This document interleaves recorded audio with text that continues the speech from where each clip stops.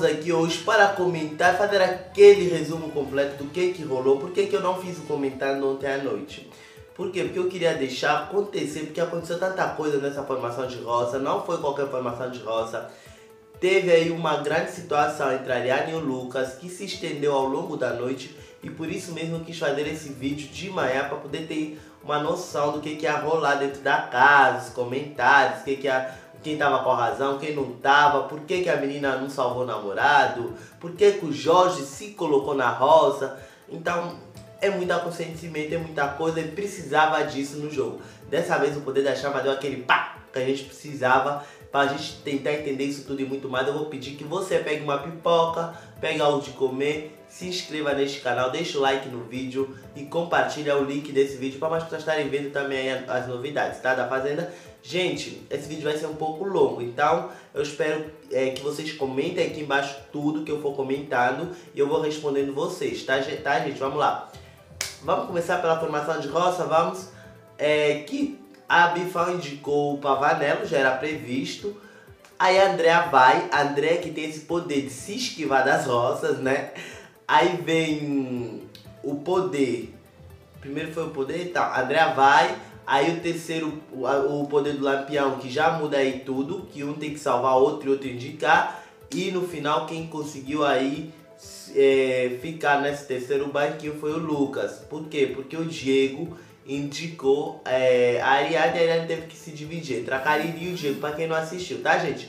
Agora vamos falar um pouco sobre o Jorge. Depois do Jorge a gente volta a Ariadne pro Lucas. O Jorge fez a pior besteira. Ele podia não ter ficado com os 30 mil reais ou ter colocado alguém da equipe lá nos banquinhos, mas ele se colocou na roça. O Mion já falou, o público não gosta. Mano, você tá no reality. Você se colocar na roça é você pedir para ir embora. Se ele não vence essa prova do fazendeiro, eu acho que ele sai. Esse excesso de confiança do Jorge, não sei. Eu acho que ele pode até sair para a planta do Rodrigo. Sério. O Lucas, eu tenho certeza que ele sai. E se for com o Rodrigo, eu acho ainda que ele pode sair porque ele se colocou na roça. É, e salvou mais uma vez a Andrea. Muita gente aí com ranço, porque a Andrea, mano, teve que tirar. Então, vamos voltar pro Lucas e pra Ariane. Nessa situação toda do Lucas e da Ariane, ele saiu altamente estressado com a Ariane. Chegou lá, a Ariane quis abraçar, ele disse que não queria, para deixar, para ela deixar ele. Daí tudo bem. Aí a Sabrina chegou com um comentário que falou pro Diego para voltar na Cariri, que é a Cariri ia salvar a Ariane e a Ariane não ia ter outra alternativa a não ser indicar o Lucas. E o Diego parece que tinha repetido inclusive o nome da Cariri, confirmado aí pra Sabrina, mas ele viu aí a Ariane e preferiu deixar esse fogo quente na mão da Ariane. Vamos combinar que o Diego sabe que a Ariane é forte aqui fora. Vamos combinar que ele pode ter feito isso para prejudicar, né? Aí fica essas hipóteses em aberto, sim ou não. É, e a Sabrina várias vezes falou isso durante a noite, a Karine ficou até assim, sim ou não. E aí a Karine foi perguntar para Andrea o que, que ela achava em relação à atitude da Ariane. E pela primeira vez na vida, a Andrea teve uma atitude sensata. Ela falou com essas palavras, ela disse que se a Ariane já largou uma pessoa lá fora, aí ela assumiu o Lucas. O normal, o coerente seria ela salvar o Lucas e era a obrigação da Cariri, que era amiga, de ter esse discernimento, de aceitar, né? Esse vídeo, inclusive, vocês podem estar indo ver lá no WebTV Angolana no Instagram, tá? Vocês botam lá o WebTV Angolana vocês vão ver lá no Instagram do WebTV Angolana. Após isso, Ariane foi falar com o Lucas, foi tentar de novo falar com o Lucas lá na casa da árvore. Gente, aí que a gente vê que a Tati, a Tati Dias, não tava tão louca quando falou aquelas coisas do Lucas, não. Ele pegou, ele se vitimizou, ele disse um monte de coisa com ela, disse que ela tava usando ele, disse que ela tava fazendo um monte de coisa com ele e que o Brasil devia estar tá rindo da cara dele. A menina saiu de lá despedaçada. Tá até é um jogo, gente. Vamos lá. Não é porque ela tá com ele que ela obrigatoriamente tem que salvar ele. Entendeu? Tipo, se a Thaís era amiga dela, ela sentiu. E ela disse, ah, eu salvei ele porque eu sinto que ele vai pra prova com mais força, vai voltar e tal. Ela sentiu isso, e ela sentiu que a Thaís, se fosse a Thaís, ia vazar. E provavelmente, essa, se a Thaís caísse numa roça agora, eu acho que ela sai. É, e o Lucas jogou esse monte de coisa para a Ariadne. Ela saiu de lá chorando e foi desabafar lá com a, com a Thaís e com o Rodrigo. Nesse momento, o pessoal do Grupo Sol entra e o pessoal do Grupo Sol várias vezes já falou a gente vai aproveitar o Lucas porque ele se desestabiliza e é o mais fácil da gente poder manipular. E, e dito e feito, eu lembro de uma coisa que a Tati falou numa das entrevistas, acho que foi lá no, na live, que a Bifão tem esse poder de manipular as pessoas. Gente, eu não tenho nada contra a Bifal, mas eu percebi isso nessa conversa. E se vocês quiserem ver esse vídeo, eu vou deixar lá no Instagram do FTV Angolana para vocês concordarem ou não comigo a Bifal, ela meio que bota na cabeça do Lucas que a Ariane fez isso de propósito. Aí o Neto bota mais pilha nisso. Ou seja, elas dão a entender, por exemplo, que a Ariane não tá nem aí pro Lucas.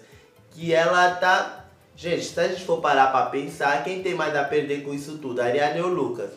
Quem é que largou o namorado aqui fora de anos? Ariane? Foi? Quem é que colocou uma reputação em risco? Foi ela, tudo por causa dele também, entendeu? E o que ela falou, cara, ele ficava em cima de mim, mim, eu larguei tudo lá fora e agora ele vem dizer que ele tá, que eu tô usando ele. E eu achei uma atitude assim muito infantil. Ele e esse pessoal aí do grupo, tirando o Guilherme, porque o Guilherme ali é o que me parece ser mais amigo. Os outros tipo, querendo mesmo causar um atrito, afastar o Lucas. E lembrando que ali ninguém é ser amigo dele, tirando o Guilherme, né? O Neto eu vejo ele falando mal por trás. Cara, ficou uma coisa que eu fiquei assim, nossa, os caras em vez de ir lá apoiar, dizer, não, calma, esfriar a cabeça, eles foram lá botar mais pilha no Lucas. Lembrando que quando o Lucas fica chateado com eles, eles falam um monte de coisa. Então ficou esse climão. Aí a Ariane ficou sem falar com o Lucas, Thaís ficou com medo de falar com o Lucas e tá esse climão todo na casa, tá gente? Mas eu acho que o Lucas ainda volta com a Ariane. Mas a Ariane também sentiu, ela disse assim, ah, lá fora, eh, o pessoal falava as coisas de, dele pra mim, eu fechei os olhos e tô com ele sem, sem nunca ter levantado nada disso. E ficou meio assim. Tem gente, aqui no nosso canal coloquei uma pergunta, quem vocês salvariam? E mais de 80% das pessoas disseram que salvariam o Lucas. Eu achei errada a atitude dela, dela ter escolhido a Thaís, eu não, não achei nada a ver. Mas, é, se a gente for parar pra ver, dizer que ela não gosta dele, aí tá, está sendo muito radical, né? Porque vamos combinar que a menina também largou um monte de coisa, colocou um monte de coisa em jogo, inclusive a própria reputação por causa dele. Mas que ele é grudento, ele é. Que ele tentou, é, de um jeito, tipo, fazer ela se sentir mal por ele estar na roça. Mano, um jogo. Cadê? Entendeu? E ela tava sob pressão ali, ela é lesada, ela é. Entendeu? E agora, a prova do fazendeiro, quem vocês querem que vençam? O Jorge, pra mim o Jorge é o que mais, menos merece ali de vencer a prova é, o Rodrigo ou vale lembrar que as equipes acabaram, tá gente? E aí quem for para essa roça, quando voltar vai tentar tal prova que é para ganhar os prêmios. Então é isso aí, gente. Eu só falei que esse vídeo ia ser longo. Me comente aqui embaixo, mais uma vez vou pedir o que, que vocês acharam disso tudo. Se vocês concordam com isso ou não, vá lá no Web TV Angolana para vocês esclarecerem as dúvidas, porque tem gente que já sai esculhambado sem ver vídeo, vezes vê só o título e a capa já sai gritando. Muita calma, amiguinhos. Vai lá no Instagram, olha os vídeos direitinho, entendam o que eu estou tentando explicar para vocês e a gente vai voltar mais, ta mais tarde comentando então a prova do fazendeiro, tá? Ele muito obrigado pela vossa audiência. Eu vou ficando por aqui. Então até daqui a pouco, gente. Fui. Tchau.